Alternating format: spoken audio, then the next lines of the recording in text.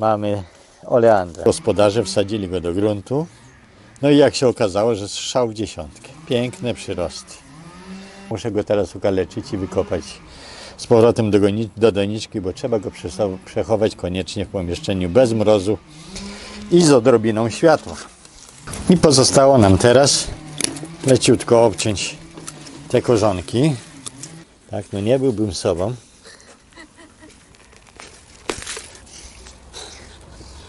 Zrobił się tak zwany odkład, tak, pionowy. Roślinka była posadzona odrobinę głębiej niż rosła w ziemi i dlatego wypuściła korzenie.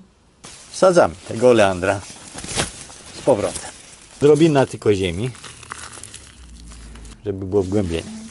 Tak? I wystarczy podlać mocno raz, drugi, trzeci, żeby ta bryła mocno nasiąkła i zostawiamy go w piwnicy i wtedy raz na miesiąc odrobina wody, wiosną nawozu troszeczkę. Ja bym mu zmienił wiosną doniczkę na większą średnicę około 3 cm.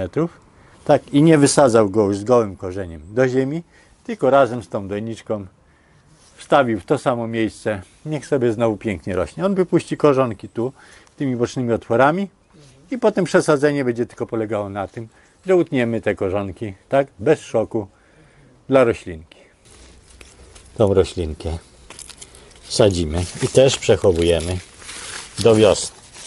Tylko z tą różnicą, że to było skaleczone, oderwane od roślinki matecznej i to bym jeszcze podbał do końca października, czyli podlewał jak każdego normalnego kwiatka i w pomieszczeniu zupełnie widnym podtrzymał, żeby te korzonki mogły się rozwinąć. Zimą większość tych liści spadnie. Nie martwimy się o to. Na każdych pędach wiosną pięknie poucinać wierzchołki, sadzonki ukorzenić, te wierzchołki, tak, a resztę wstawiamy z donicą do ziemi lub trzymamy na tarasie.